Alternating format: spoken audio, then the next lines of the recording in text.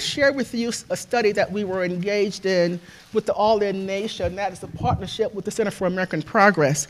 And when we did this demographic study, we wanted to see well, how, are, um, how would Americans respond to this idea about the shifting demographics? So we were, in, we were in part of a survey in which we interviewed a number of households across America to see how, how much they welcomed.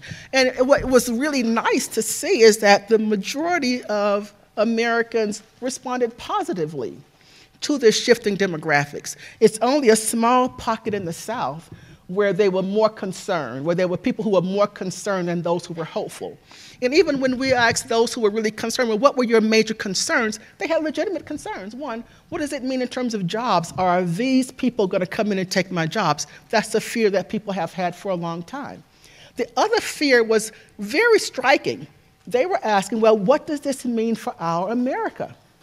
Is our America shifting? Do I still define America in the same way that I used to in the past? So that's a question that we all have to answer how do we look at this and see do we view it as a positive that we, we do we view diversity as a positive thing or do we view diversity as something that we have to be afraid of or fearful to what degree do we embrace it to what degree do we make sure that our programs are meeting the needs in terms of the culture the language the way in which we do our work the way in which teach are we are really addressing what needs to be done in order to make sure that those who are coming here really are coming with a sense of welcoming in the way that our country was initially built.